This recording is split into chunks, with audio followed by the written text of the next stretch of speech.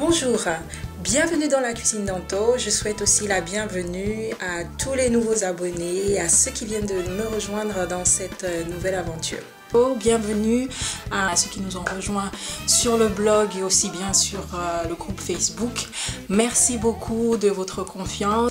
Aujourd'hui, je vais vous proposer une nouvelle recette. Euh, pour commencer, je vais répondre à la question euh, d'Afro Mango et compagnie, qui est une blogueuse qui m'a posé une question, à savoir s'il existait des desserts africains. Avant de vous raconter n'importe quoi, j'ai quand même essayé euh, de faire euh, des recherches par rapport à ça, même si j'avais déjà une réponse par rapport à cette question. Alors, pour ma part, il n'y a pas de dessert africain parce que le dessert, tel qu'on le connaît aujourd'hui, ne fait pas partie de notre culture. Je m'explique, lorsque vous allez euh, en Afrique du Nord, dans les pays du Maghreb, effectivement, on a des desserts qui sont à base de pâte d'amande, à base de miel, de noix, de noisettes et tout ça. Euh, si on va un peu plus bas en Afrique euh, subsaharienne, les endroits où les bantous se sont installés, on se rend compte qu'il n'y a pas vraiment de dessert euh, tel qu'on le connaît aujourd'hui. Culturellement, lorsqu'on était à la maison, lorsque je vivais chez mes parents, quand on à la maison, le dessert c'était un fruit. Un fruit frais qui était découpé et qu'on prenait en dessert. On n'avait pas de dessert comme on peut connaître les tartes et, ceci. Arrivé à ma mère d'en faire, mais c'est vrai que cela ne faisait pas vraiment partie de notre patrimoine culturel. Par contre, il y a quelque chose que je retrouve en faisant des recherches, il y a quelque chose que j'ai retrouvé euh, euh, un peu partout en Afrique, que ce soit en Afrique du Nord ou en Afrique centrale ou du Sud. Il y a un dessert, j'appellerais ça douceur, euh, que les Bantous aimaient faire euh, parce que au niveau des Bantous, vous le savez, il y avait des chasseurs, il y avait des agriculteurs, mais il y avait aussi des éleveurs. Et bien ces éleveurs-là utilisaient le lait de leur bétail et faisaient du lait caillé. Et pour la plupart, vous connaissez le lait caillé. Euh, moi, je me rappelle, il y avait toujours une petite dame d'Afrique de l'Ouest qui avait euh, du lait caillé qui était emprisonné dans des petits sachets et on en raffolait. Donc, il y a le lait caillé. Souvent, dans certaines cultures, le lait caillé, on mettait du tapioca dedans qu'on faisait cuire. Vous avez dans certains endroits euh, du mil qu'on mettait dans, dans, le lait. Vous avez d'autres céréales. Et c'est ce qui servait un peu de dessert. Mais en recherchant vraiment dans l'histoire de l'Afrique et dans la plupart des pays, vous me direz si jamais je me trompe, le dessert euh, ne fait pas partie, tel qu'on le connaît aujourd'hui, ne fait pas partie de notre culture. Ceci dit, ce n'est pas grave. Comme je vous le dis souvent, nous avons les produits et nous avons de très bons produits. Ce que je vous propose, c'est de prendre le produit, d'aller en Occident. On va piquer deux trois techniques et puis on va préparer une super assiette. Aujourd'hui, je vous propose en dessert un carpaccio d'ananas accompagné de tuiles dentelles au sésame, sauce caramel ou beurre salé. Pour la petite histoire, le carpaccio, c'est une préparation à base de viande de bœuf cru qui est tranchée très finement et que l'on accompagne avec euh, une sauce à base d'huile d'olive, jus de citron, sel, poivre. Euh, le carpaccio est une recette italienne qui a été inventée euh, par Giuseppe Cipriani pour la comtesse Amalia, à qui son médecin avait interdit de manger de la viande cuite. C'est comme ça qu'est né le carpaccio. Aujourd'hui, le carpaccio est un peu plus euh, vulgarisé, c'est-à-dire qu'on retrouve aussi bien du carpaccio de viande, euh, que ce soit viande rouge, viande blanche. On retrouve du carpaccio de poisson, de légumes et de fruits. L'essentiel étant de respecter l'idée originelle, c'est-à-dire que le produit soit cru et tranché très finement. Je vous laisse regarder tout ça en démo et on en parle après. A tout de suite.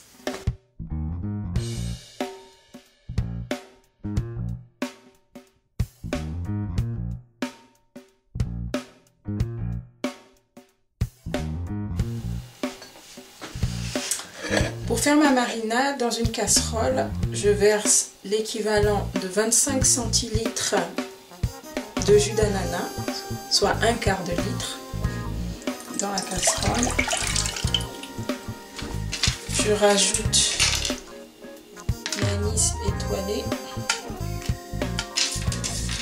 J'en ai mis deux.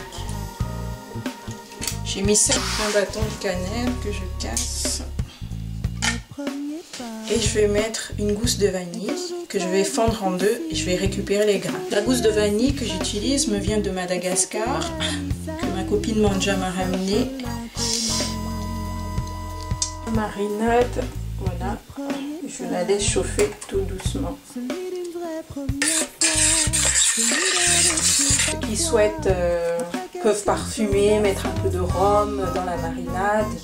On peut mettre un autre alcool dans la marinade pour pouvoir parfumer un peu d'autres fleurs d'oranger pour donner un peu plus de saveur à la marinade qui est sucrée. Mon ananas, je vais le trancher.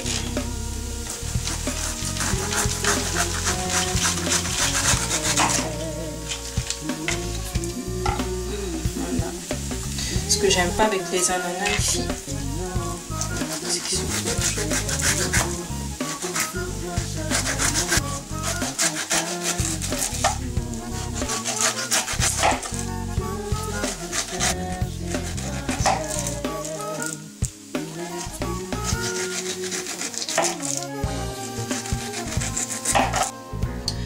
qui n'aiment pas le cœur de l'ananas comme moi, vous pouvez utiliser un vide pomme. En fait, c'est pour enlever le cœur. On va enfoncer.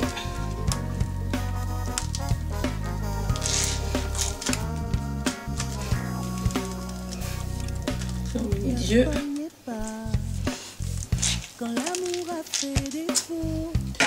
Alors, là, on voit que c'est trouvé et au fur et à mesure que je vais trancher, je vais pouvoir enlever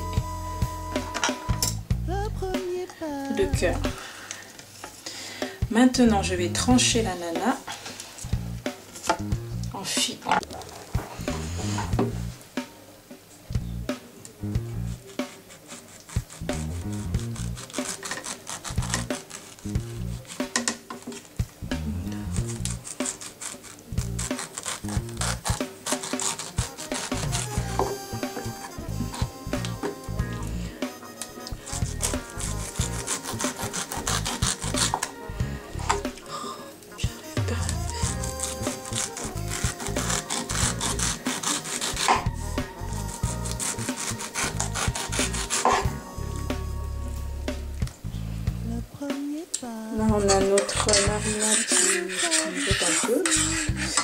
parce que vous n'êtes pas là, mais vous- moi, je sens déjà le parfum euh, des épices qui s'émalent et qui ont, infusé, euh, qui ont infusé dans la préparation. Dans un plat plat de préférence, je vais mettre ma marinade.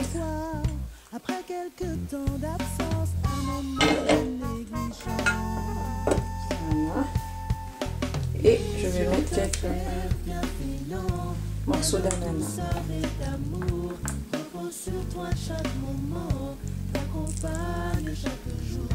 Pour qu'ils s'imprègnent bien la marinade que je viens de préparer. Une fois que les tranches d'ananas et la marinade sont versées dans le plat, ben, on va laisser reposer toute une nuit. Et demain, on passera à la deuxième étape de la recette et à la dégustation.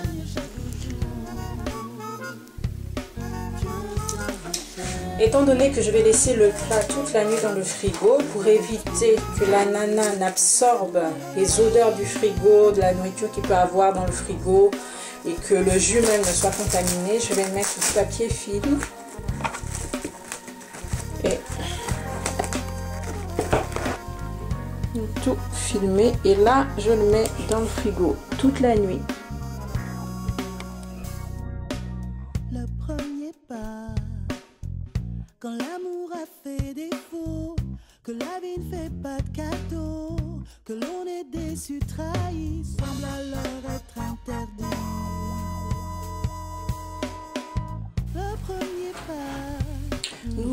Notre recette euh, du carpaccio d'ananas au caramel au beurre salé. Donc là, j'ai ma plaque de four où j'ai mis du papier sulfu. Le problème, c'est comme le papier sulfu est en rouleau, donc. Je vais vous montrer donc une astuce pour faire coller le papier sulfu. Je prends un peu de la préparation de la pâte à tuile. Je vais la mettre au coin.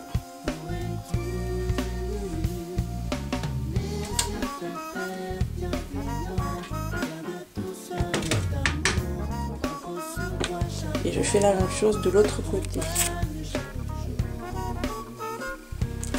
Et voilà. J'ai mon papier qui adhère correctement à ma plaque. Là, je vais pouvoir dresser les tuiles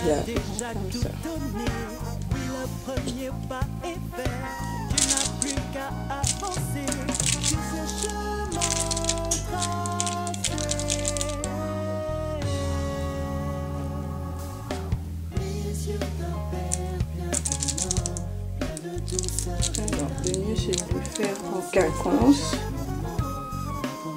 Quinconce, ça veut dire vous avez deux ici. J'aurais même pu faire trois en les resserrant un peu et je mets à chaque fois au milieu entre deux tuiles pendant 5 à 8 minutes. Je vais surveiller qu'elles soient bien dorées. Dans le four, les tuiles cuisent tout doucement. Là, elles se sont un peu étalées, c'est pour ça qu'il ne faut pas trop les serrer, comme ça, euh, elles n'ont pas à se toucher. Donc là, elles sont en train de cuire tout doucement, et une fois qu'elles seront bien dorées, je pourrai les enlever. Mes tuiles sont prêtes, je vais pouvoir les enlever. Alors là, elles sont un peu trop cuites. Les tuiles, on les enlève à la spatule. Et vous les mettez après sur un rouleau à pâtisserie qu'elles puissent refroidir et en même temps ça va leur donner la forme que l'on souhaite. J'ai pas trop de place dans ma cuisine.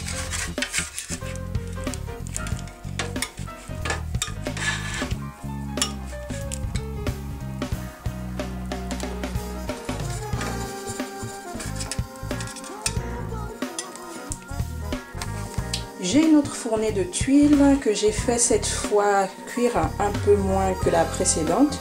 Et si vous remarquez, toutes les cuisses sont collées. J'ai fait exprès d'en mettre un peu plus pour vous montrer l'astuce, euh, si jamais ça vous arrive, comment faire pour décoller les tuiles. Il faut savoir que tant que la tuile est sur la plaque et qu'elle est chaude, elle est molle. Donc on peut la découper au ciseau. Regardez.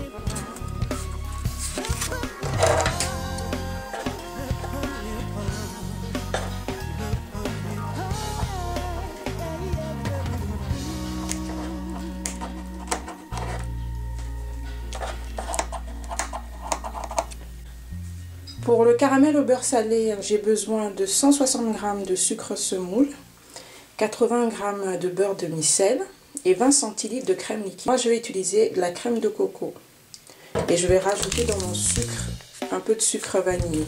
Pour ceux qui se demandent où trouver la crème de coco, vous pouvez en trouver euh, dans les rayons euh, exotiques euh, en grande surface.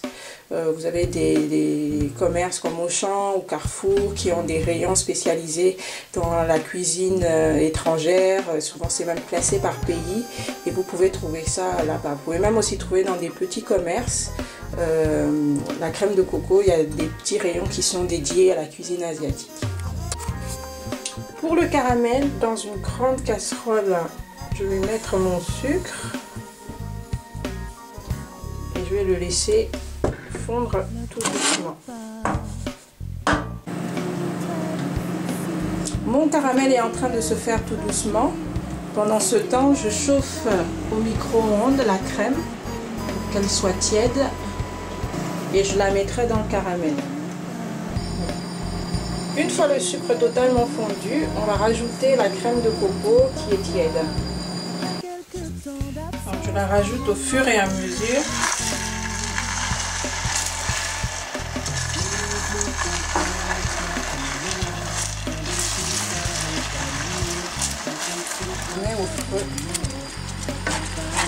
bien prendre tout je rajoute mon beurre en petites parcelles.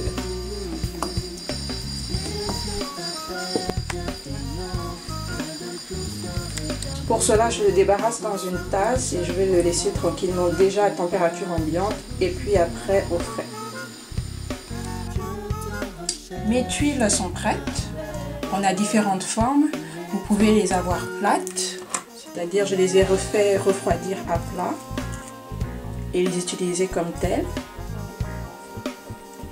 Vous pouvez les avoir légèrement courbées. Là, vous les avez dans un rouleau, laisser refroidir sur un rouleau à pâtisserie. Et dans ce cas, elles ont cette forme-là.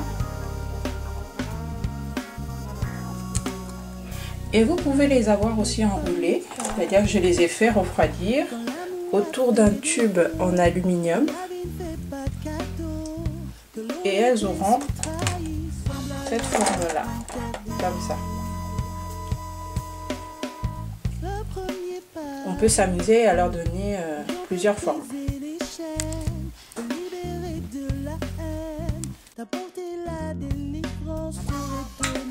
J'ai tous les ingrédients pour pouvoir euh, dresser mon assiette. Carpaccio qui a mariné toute la nuit avec les épices. Mon caramel au beurre salé. Et mes tuiles. C'est parti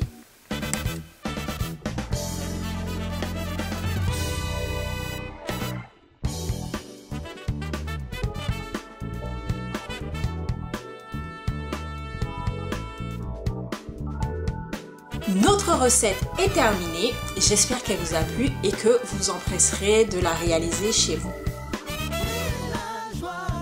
Premièrement, c'est vrai qu'il n'est pas facile de trouver un bon ananas, euh, surtout pour ceux qui vivent en métropole.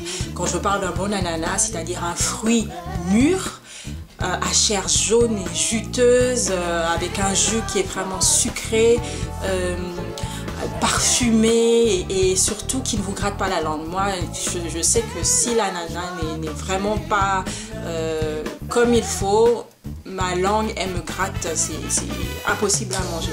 Et je reconnais que depuis que je, vis en France, je ne mange quasiment pas de fruits exotiques parce qu'à chaque fois, je suis déçue.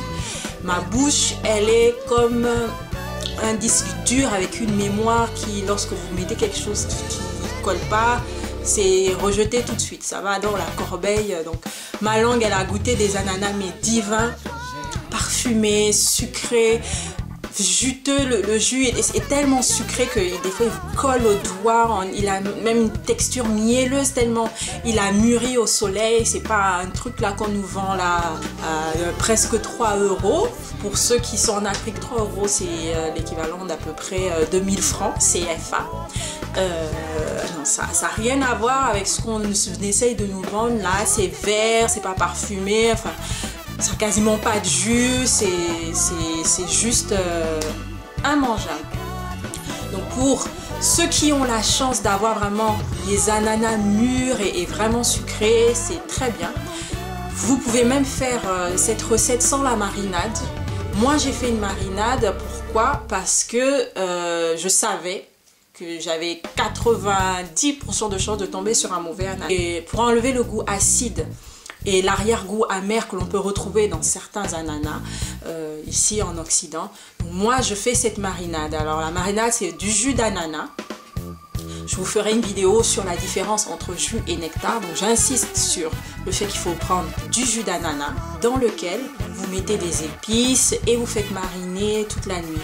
La marinade va permettre à l'ananas de perdre son acidité parce que le jus d'ananas va aller dans l'ananas qui est coupé en tranches et l'acidité va aller dans le jus. En fait, il va y avoir un échange. Et toutes les saveurs aussi qui seront dans votre marinade sucrée va aller dans l'ananas et ça va ôter vraiment tous les défauts que l'on peut rencontrer dans les ananas qu'on trouve ici. Concernant les tuiles, ce que je vous conseille, c'est qu'il est vrai des fois quand on fait des préparations, euh, on se retrouve avec pas mal euh, de, tuiles par exemple. Moi je me suis retrouvée avec une euh, vingtaine de tuiles alors que j'ai fait une recette pour 4 personnes. Alors c'est pas grave, sachez que vos tuiles, vous pouvez les garder dans une boîte bien fermée à l'abri de l'humidité. Parce que l'humidité, bien sûr, ça va les faire ramollir.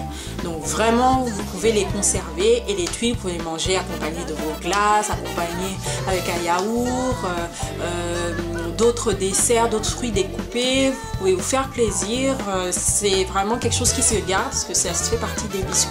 Le caramel au beurre salé, vous comprendrez aussi que comme les tuiles, quand vous en faites, il est difficile souvent d'en faire une toute petite quantité. Ne vous inquiétez pas, vous pouvez le conserver aussi. Bien fermé, vous pouvez le garder dans votre frigo comme une confiture et l'accompagner de vos desserts, de vos glaces. Un autre conseil, lorsque vous avez fait votre marinade, il vous reste du jus. Le jus de la marinade, que vous avez utilisé, par exemple, toutes vos tranches d'ananas. Alors ce jus-là, ce que je vous propose, c'est de ne pas le jeter. C'est du jus d'ananas qui comporte de la vanille, de la cannelle, de l'anis étoilé. Pourquoi ne pas en faire un cocktail? Dans ce cas, vous prenez ce, ce jus, vous faites de la glace pilée, c'est-à-dire dans un torchon, vous prenez des glaçons, avec le rouleau pâtisserie, vous cassez votre glace, vous mettez toute la glace dans un verre et vous versez votre jus d'ananas qui vous aura servi de marinade. Ce qui est bien aussi avec euh, ce jus-là, vous pouvez le détendre avec un peu de rhum. Attention, l'albut de l'alcool est dangereux, à consommer avec modération.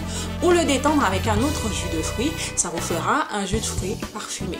Mon dernier conseil pour l'ananas, alors sachez que ces tranches peuvent aussi servir comme masque pour le visage. Je m'explique. Dans mon blog, quand vous irez dans mon blog par rapport à l'article que j'ai fait sur l'ananas, vous verrez que l'ananas a des vertus absorbantes. Si vous faites un test par exemple, si vous mettez votre ananas comme j'ai fait, sans le couvrir, sans le filmer par exemple, le lendemain vous allez vous rendre compte que l'ananas aura absorbé toutes les odeurs y aura dans votre frigo. C'est la raison pour laquelle, quand vous faites de l'ananas, que vous tranchez, toujours un papier film pour bien le fermer ou dans une boîte hermétique. Comme ça, l'odeur de l'ananas n'ira pas dans le frigo et l'ananas lui aussi n'ira pas absorber toutes les odeurs qu'il y a dans votre. Euh, Qu'est-ce que je disais déjà ce que je prépare Oui, que l'ananas avait des vertus absorbantes. Ce que je vous propose, c'est quand vous, si vous tranchez votre ananas et qu'il en reste encore beaucoup et que euh, voilà, euh, sur les, moi j'en ai fait par exemple pour 4 personnes, mais il en m'en reste pour plus de 4 personnes. Ben dans ce cas, prenez les tranches, mesdames ou messieurs. Euh, vous, avez, êtes nettoyé la peau, vous êtes démaquillé et tout, et vous souhaitez euh, absorber encore l'excès de sébum qu'il y a sur votre visage. Ben, les tranches d'ananas feront très bien l'affaire. La recette du carpaccio est finie. À vos marques prêts, à vos fourneaux. C'était Anto pour vous servir et je vous retrouve bientôt pour de nouvelles aventures. À très bientôt. Au revoir.